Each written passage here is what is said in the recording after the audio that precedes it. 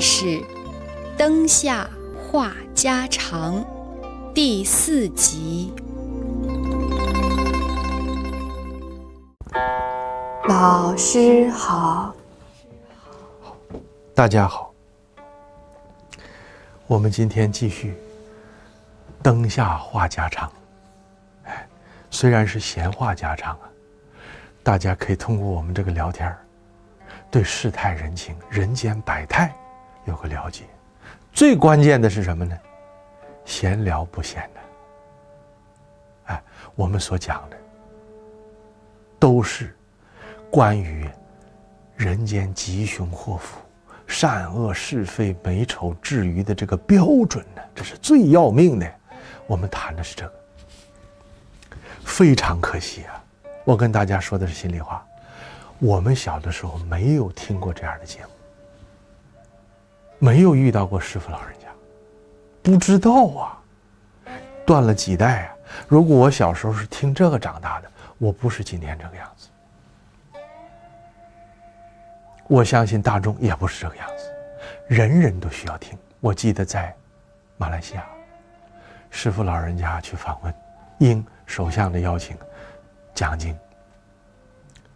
哎，讲经之余啊，到这个首相府，到家里边，去做客。首相夫人呢，就是闲话家常，跟师傅老人家谈谈，谈到一半，这夫人说：“老法师啊。”你老人家说这个太好了，你不能光跟我一个人说呀。这样好不好？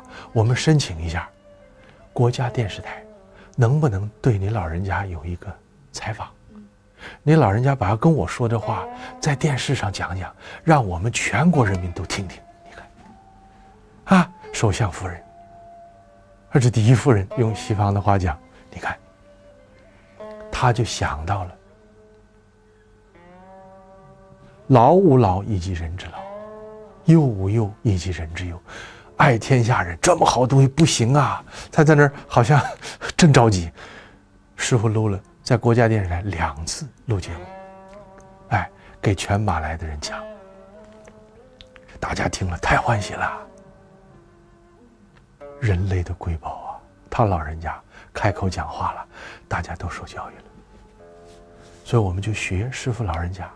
闲话家常，我们这里边有讲课的，啊，有正规课程，啊，群书制药研究员班的课程，我们还有灯下话家常，把这些家长里短，你们在外边出差也好，所见所闻，把它收集起来，大家一块来聊天，哎，全世界一块来聊天，大家在一起，停电了。啊，没时间看电视了，说说这个，听听这个，真好。我看过一篇文章，哎，他那个文章的标题叫《停电之夜》。他说他们那个那个城市有一天突然停电了，小县城停电了，没电视看了，也没网络了，大家就都从家里出来了，就是夏天都出来乘凉了，人跟人开始说话了。啊，对呀，人跟人开始说话，很奇怪啊，对呀，就就开始说上话了。对门不认识，这这这这没什么好，屋里闷着的出来说话了。这说话，大家感觉很好。哎，这小区里的人哦，变得很亲切。第二天又停电，还是看不了电视，连着停了三天。最后啊，小区的人们。比原来亲切太多了，那见面大家都打招呼了，哎，人们好像也有点热乎气儿了，有点那个人间烟火的感觉了。这个女大学生就感慨，写了一篇文章，感情啊，停电挺好，是吧？由此我们就知道，古人不傻。古代没有电呢，现在人总骂，你看我们的老祖宗多愚昧落后啊。现在不愚昧，人跟人之之间见着面那真的跟仇人差不多，谁也不搭理谁。你跟他问个好，给他吓一跳，你家是不是精神病？这是，都变成这样了。而且，难过在哪里呢？现在的孩子把这当成正常的，他没见过正常的，他把这个当正常。你说将来这社会得多可怕？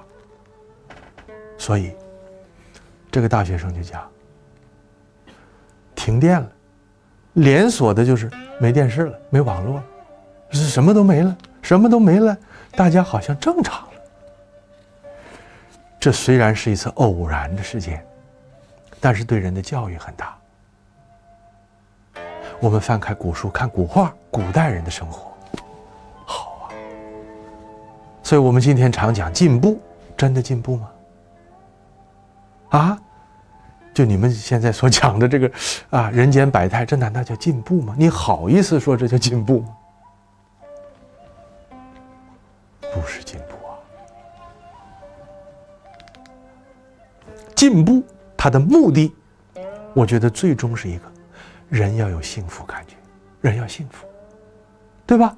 电冰箱、彩电、呃音响、电脑，有一切应有尽有了。他不幸福，这是不是进步？你说这是不是进步？家家一辆车了，这屋谁不敢出去了？雾霾、尾气，这这这堵车，人人焦躁不安、痛苦无比。你说这叫进步吗？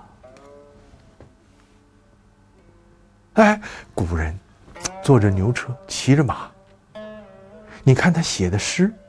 做的词，写的字，画的画，他太幸福了。那种幸福，我们就流看着流口水，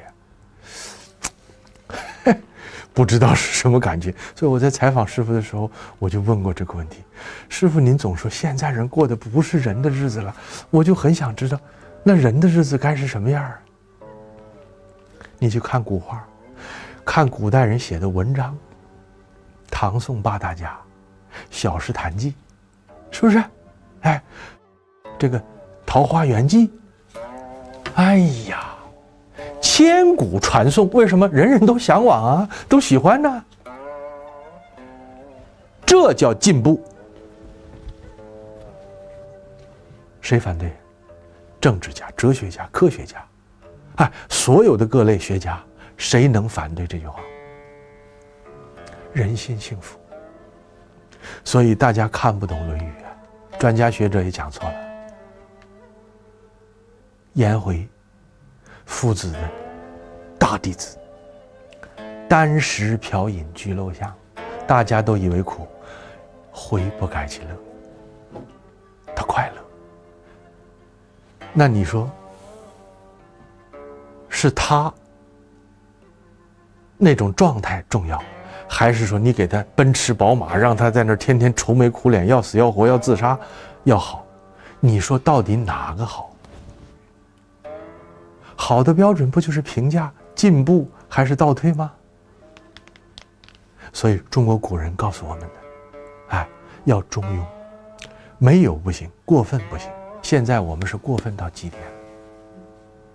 所以你这次回家 所见所闻的，处处你都可以看到。我想这不是你故意的，是这人心态不好，专挑那个不好的说。不是，那你挑个好的跟我说说也行啊。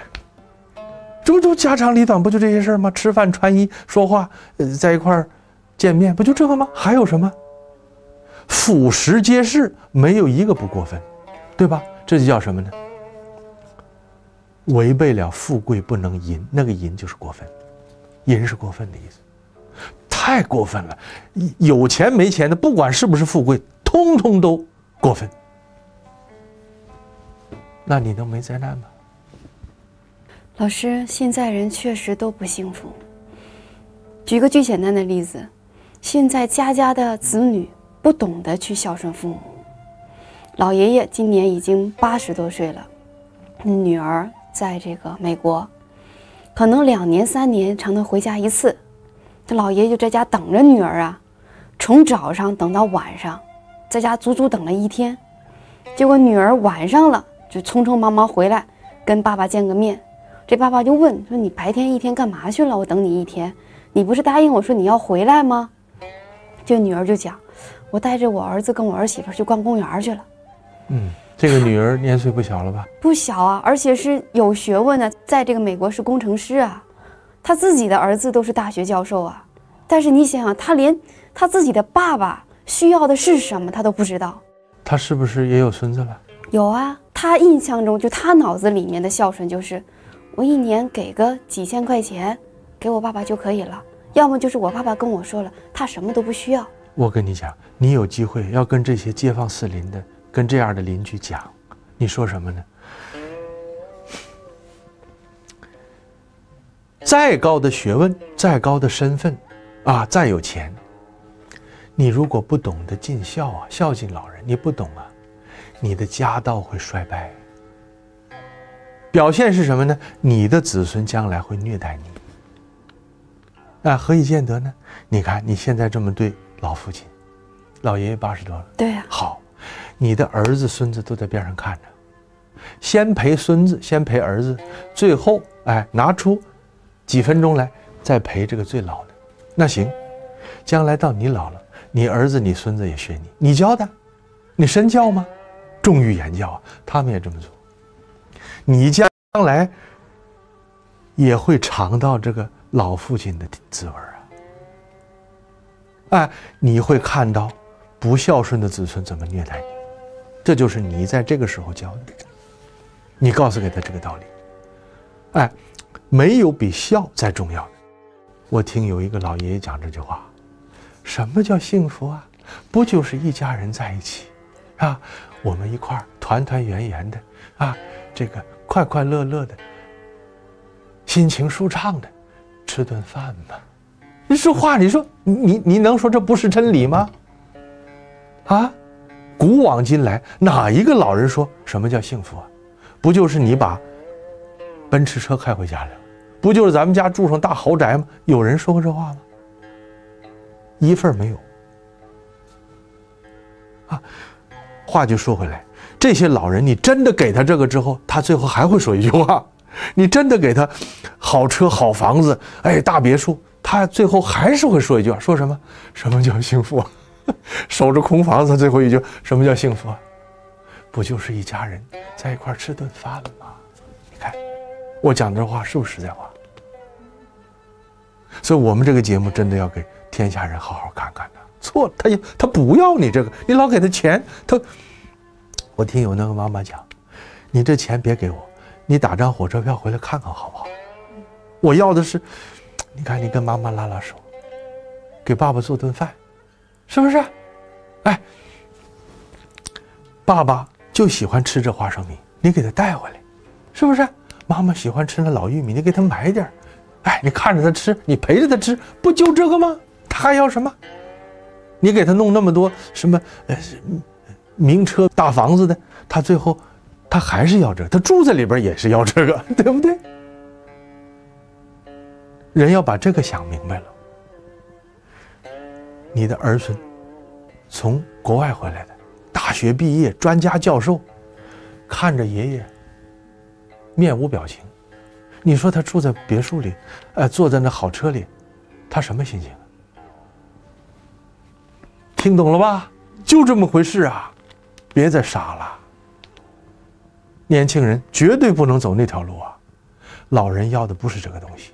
你还不要太老，只要你做父母了，你要的都一定是这个。你说我父母就要钱，哎，他要钱，要完钱呢，再糊涂人，最后他也需要这。那钱能吃吗？对不对？人都有人性啊，他最后要的还是这。他给你做一顿饭，他再辛苦，那爸爸妈妈，那老妈妈多辛苦啊。大夏天的，满头大汗，给你做完了饭菜，看着你狼吞虎咽的吃下去，他别提多幸福了，对吧？他忙活半天，看着你在那儿，跟吃药似的，难受；看着你在外边打麻将去了，根本就看都不看，他太难过了，对吧？这叫人话。现在没人说这个了。哎，好不容易从美国回来了，你这家四代同堂啊！哎，你说这个当女儿的，你带着儿子带着孙子，肯定要先伺候老爸爸。这这这这，这是咱们家的祖啊，祖父啊，曾祖父啊，教这个，这一家人你说其乐融融。不过话说回来，有机会也要跟这个老爷爷讲，小的时候对女儿教育疏忽了，四代。师傅讲的一点不错，四代。这四世同堂，你看看，怎么样啊？同堂不乐，对吧？这你亲眼看到了。是，这饭桌上，老爷爷追着女儿，追着孙子，给他讲：“你们学传统文化吧。”那女儿跟孙子就研究哪根菜好吃，这个新鲜，那个不新鲜的，就研究这些。我告诉你，四种孝，第二种最重要，养父母之心。你让他心情高兴了，学这个好，我们一定学，马上就得答应。哎，你说你的，我弄我的，你说他心里多难过？肯定最后一句话，你们下回别回来，我看着你我心烦，对吧？大不孝。所以现在讲代沟，代沟成了合理的了，这是西方人在我们中国犯的最大的罪过，尤其是那些助纣为虐的，帮着西方这些观念在说话那些专家学者，他们的罪太重了。为什么呢？多少年来，从我们那代起就有这个观念了，就有人在教这个了。代沟是正常的，胡说八道。你一讲代沟是正常的，那就意味着什么呢？父母说的话你可以不听，为什么？我们有代沟吗？父母说的话落伍的，专家说了。有代沟是正常的，那应该怎么样？你听不懂的，包括父母有自己的喜好、有自己的看法的，你要怎么样呢？你要顺从着。亲所好，力为具呀，对不对？爸爸妈妈喜欢这个呀，喜欢这个就顺着他。这里边有不好的，在顺着的过程中，慢慢的改变，这才对了。你不能说。该干嘛干嘛去，就这么说话，跟牲口一样。你那都是落伍的，都这样，代沟吗？代沟就是教人不孝。父母长辈所说的，你可以不听。为什么呢？他那是错的。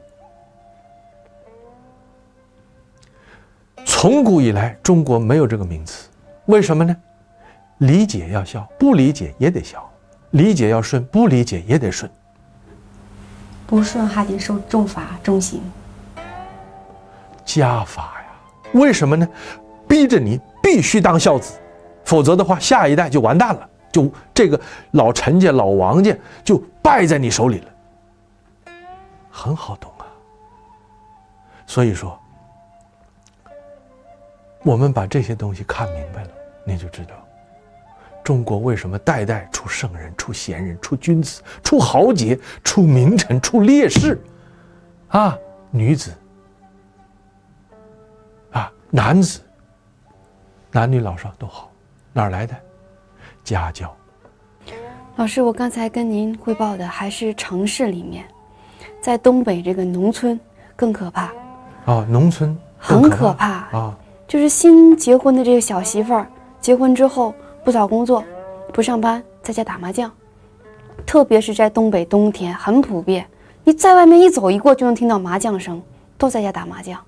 而且这小媳妇儿那真是她是婆婆训斥她的婆婆，我就听到了，你不吃饭你不早说，你还让我给你做饭，就这样训斥。是你这次听到的？我亲自听到的，我当时就目瞪口呆看着她，那婆婆好像也跟没听到一样，就转身就走了，也没有办法，就这样个儿媳妇儿。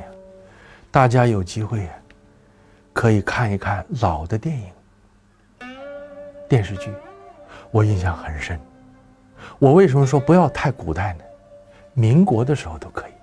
抗战有一部小说《四世同堂》，我记得我在上学的时候看过这个电视剧，我很喜欢看。那里的插曲也好听，哎，小彩舞他老人家唱。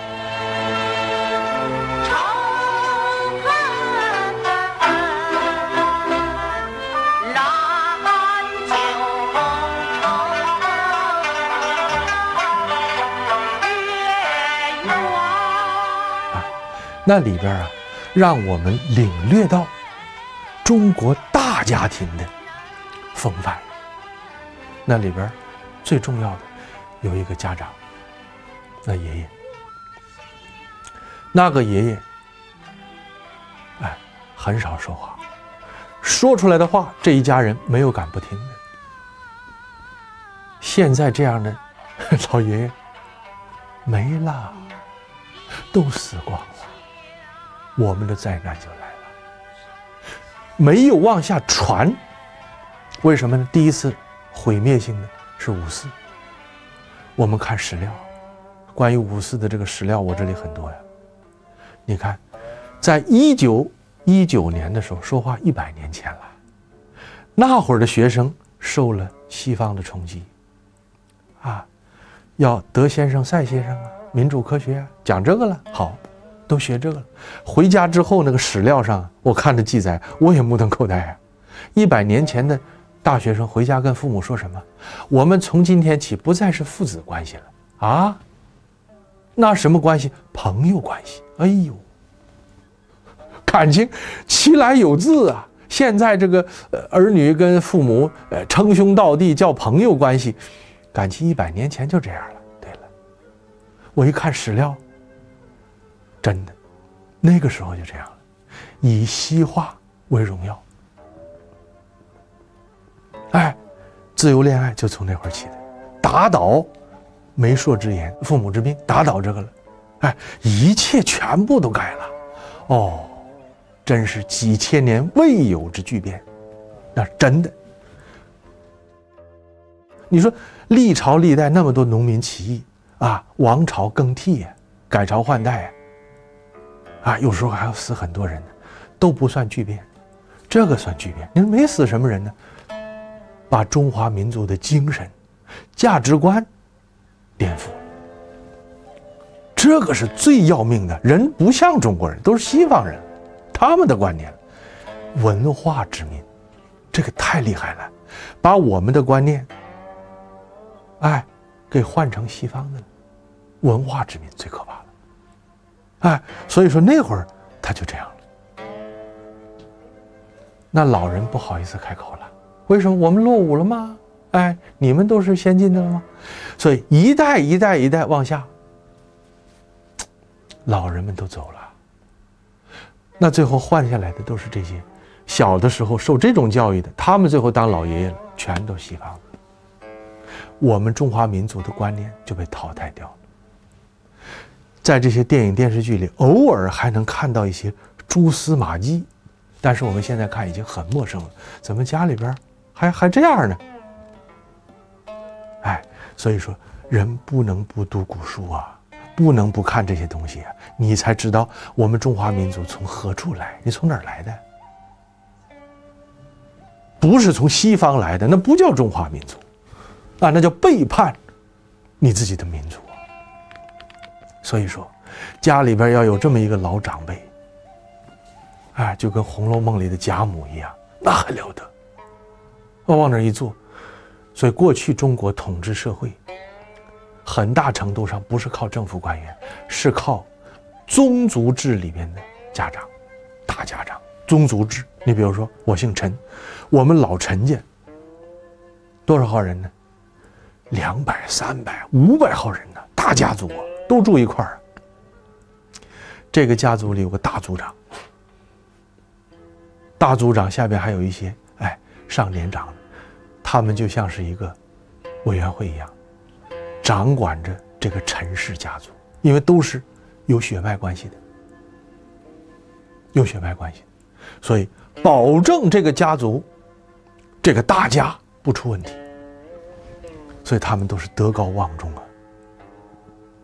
哎遇到家里有这些问题，那真的他们会出来主持公道，在祠堂。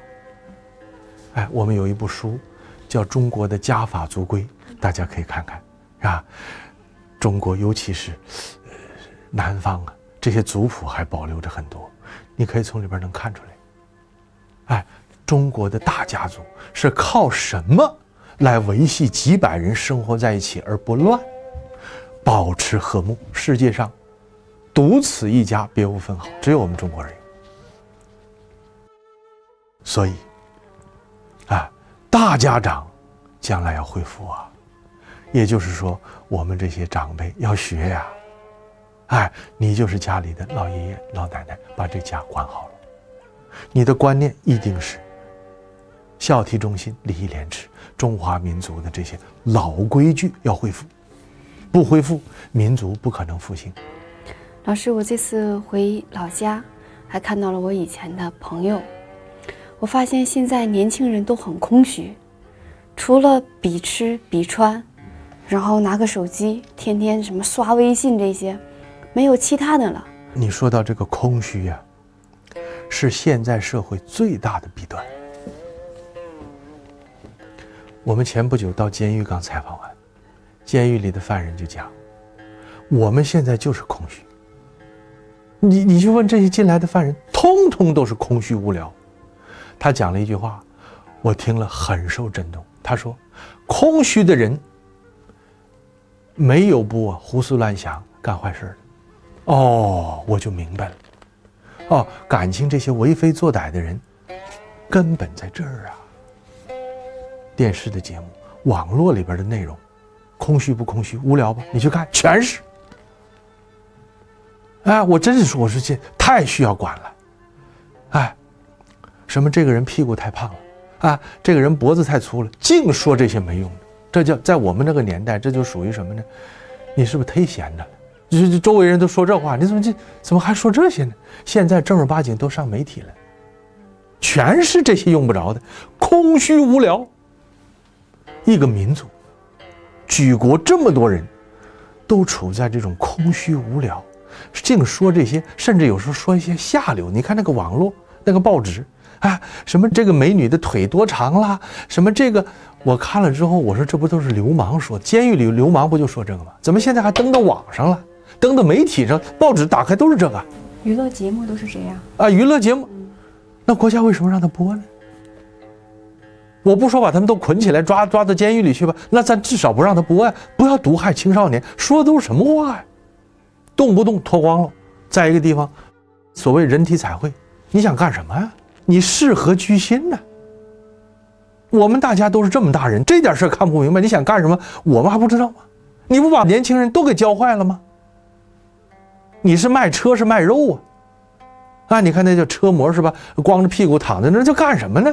都都都男女老少在那儿围着在那儿照照相，现在洗车的都有模特穿着比基尼，就是路边的洗车房、啊，洗车房，然后他就是给你洗个车，也没有，就是洗车，也拖的不能再拖了。对，是，而且他们这种服务呢是专门针对 VIP 客户的，就是有钱人。说有的车主啊，自从洗车房有这样的业务之后，他们一天洗两次车。我觉得洗不了多久了，为什么呢？我记得最近有个新闻，我很赞叹。有一种啊，展览，专门展览这些，这个男女色情的这些东西，啊，下流的这种东西，哎，所谓叫性博览会。走到几个城市，都被人拿那个臭鸡蛋给砸下去了。好，你说为什么呢？人性本善。在我们那个年代，哎，七八十年代，哎，我想有些人还有印象，穿鸡腿裤，哎，你们不知道啊，这裤腿很窄，就那裤子是包着身子的，不可以，哎，有那个在街上的巡逻的，手里拿着剪子，抓住他之后把那裤子给他剪了。那个时候我七岁，一九七六年，我记得太清楚了。你说他对不对呢？对，为什么？你看中国古书，妨害风化这是罪，你穿着暴露，国有国法呀。这个地方不是讲自由的地方啊，你错了，你自由了，那别人受害，你你负不负责任？不负责任，那国法干什么用的？说那我就得要这自由，可以关起门来在自己家里自由。啊，你不是想喜欢胡说八道吗？冲着墙在家里，出门不行。穿着暴露在家里行，说咱们全家不要脸了，那没人管。出门你试试，没人管你了。所以我们那个年代，现在很多人还向往啊，回味怀旧啊，为什么呢？有人维护。你说他是封建落后的吗？现在不封建不落后，那还叫人吗？所以说，灾难不是没有原因的，人心感召的。老师，我这个同学就给我讲，说现在年轻人很不像话，那女的看男的有钱，男的看这女的长得挺漂亮的，认识不几天，两个人就同居。同居之后说话都是骂妈，就说死妈的，就不骂妈不说话。然后没事，这女的就扇男的就扇嘴巴子，然后这男的再打女的打回来，两个人就天天这样互相扇嘴巴子。对呀，互相打，就这么在一起过日子。我说这日子怎么过呀？他就过呗，就这样的。这说明什么呢？说明现在的年轻人没福啊！你看他们吃穿住用都很好，将来，现在你就看到了，你不要等到将来。现在有几个年轻人说很幸福的，我见过一个，原来，哦，天天是胡吃海喝，没到一个月，我又见到他了，这儿有个大伤疤，缝针了。哎呦，我说你怎么弄的？哎呦，前天晚上喝酒，喝醉么咕咚，邦当，一大口子。我说你呀，好好学佛学传统文化吧，他能告诉你你这个伤疤是怎么来的。哎，我们老家话做货，造业。哎，那你要问他们现在年轻人怎么变成这样？你看看他们最喜欢什么？喜欢看电视、上网络，那里边都演什么呢？我是不看，我是听说呀。哎，所谓天下有奇闻，一块儿来共赏啊，奇闻共赏。有一个电视剧叫《我的野蛮女友》。哎，那女的那不就是跟个母老虎似的吗？啊，噼里啪嚓把男朋友打一顿，哎，还那男的还觉得挺挺好，还觉得挺舒服，啊，有个性啊，挺觉得挺舒服，哎，还越越你越打我，我我我越这个爱你，那不是贱骨头吗？啊，那不是下贱吗？你回家，你你要真的是过去，你敢跟父母说，那父母再给你两巴掌，啊，你丢人给我丢到这程度，是不是？这都是外边人教的，所以说现在日本、韩国，整个东南亚都被西化了，尤其是年轻人，哎，全部是平等，你打我两巴掌，我再给你两巴掌，哎，那父母一推门一看，这小两口正在那互扇耳光，还有父子互扇耳光啊，对呀，爸爸跟小孩两人互相啊对对扇耳光，你你这就知道，你说他不离婚才怪呢，对不对？今天的人们，都从电影电视剧里，哎，那真叫学个贴呀！那真学的是真像啊！他没有好东西让他学。正人君子，像你们这个做义工的，人家看了之后，我估计你们要去跟人家吃饭的，你们说点这个正经话，哎，这个这个我们现在所说的这些话，那人家得郁闷死，是不是？哎，你在那个饭桌上，人家说，一听你们这么说话，大家都不说话了。最后走了之后，不好玩，下次吃饭不许叫他们啊！这这，哎，刺激的、暴力、色情是吧？奇奇怪怪的，怎么赚钱？怎么享乐？哎，大家说这个，你们说正经话，不能够在世间立足。所以有人担心你们是正确的，你们将来怎么办呢？要问到我，我不担心，我会告诉他，将来人心呢会恢复正常。所以在和谐拯救危机八年前了，那录这节目，我曾经请教过师傅这个问题，我说这种乌烟瘴气的情况是不是不会太久了？师傅说不会太久了。为什么呢？人承受不了，他自己受不了了。哎，一看到好路，都走这条路。你快拉倒，别跟我说那个。哎，人人都学好了，将来会有这么一个机缘。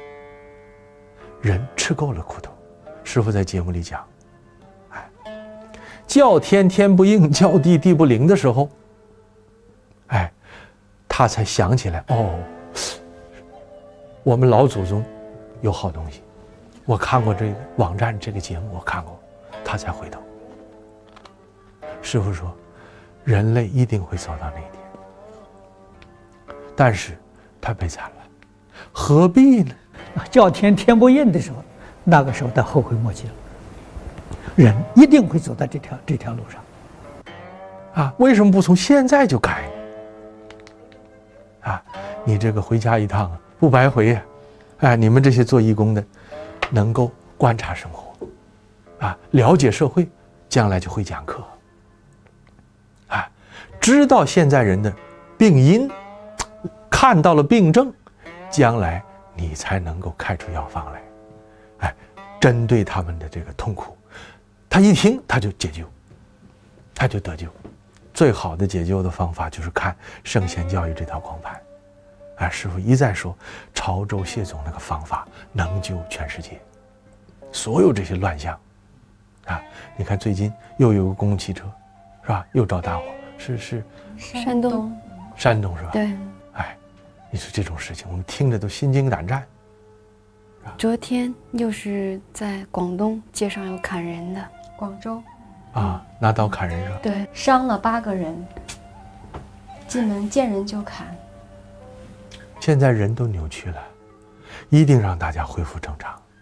恢复正常的方法，多看我们这些节目，多听师傅老人家讲经，啊，我们灯下话家常，哎，愿意跟千家万户一起，我们来